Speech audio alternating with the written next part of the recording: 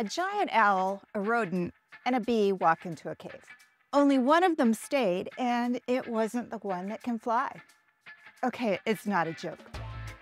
Thousands of years ago, on the Caribbean island of Hispaniola, giant barn owls used a cave as their dining room, snacking on rodents called hutias. Fast forward, the leftovers turned into fossils. And that's when things got weird. Paleontologists found ancient bees nesting inside fossil bones using tooth sockets, vertebrae, even a sloth tooth as ready-made homes. No drilling, no carving, just move-in ready fossil real estate.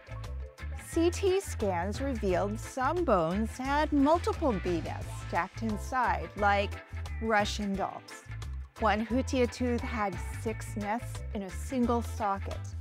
Why nest in a cave?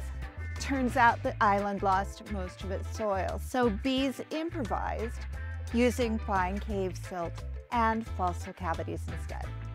It's the first known case of bees nesting inside pre-existing fossils, and it rewrites what we know about ancient ecosystems. What kind of fossil would you like to live in? Like, follow, and comment Bone Bee for more wild science stories.